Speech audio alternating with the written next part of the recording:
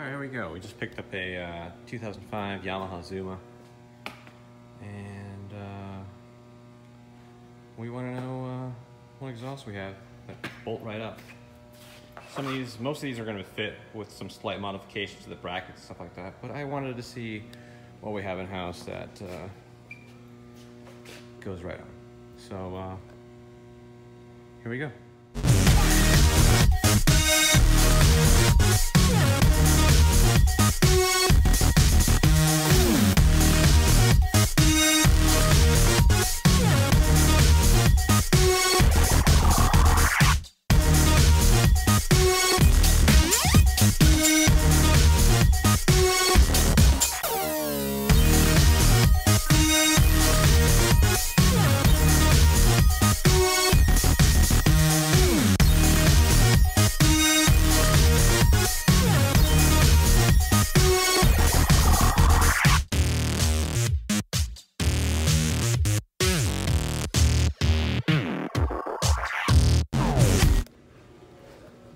So we found one.